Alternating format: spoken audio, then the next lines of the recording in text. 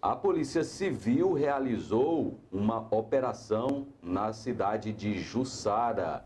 A Polícia Civil, por meio da Delegacia Estadual de Repressão a Crimes contra a Ordem Tributária, o DOT, deflagrou nesta quinta-feira, ontem, dia 28, em Jussara, a segunda fase da Operação Tanino. A operação tem como alvo empresários e contadores daquele município.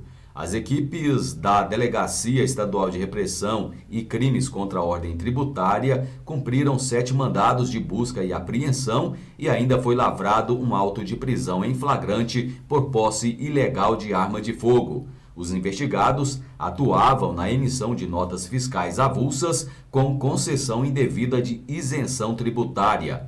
Eles ainda simulavam transações comerciais visando não efetuar o pagamento dos tributos devidos. Os contadores investigados utilizavam-se de cadastros de contribuintes, produtores rurais da região, para simular transações agropecuárias, a fim de justificar investimentos para obtenção de financiamentos junto a instituições bancárias. A Operação Tanino tem por meta recuperar aos cofres públicos mais de 2 milhões em tributos sonegados. Os investigados responderão por crime tributário, falsidade ideológica, corrupção e associação criminosa.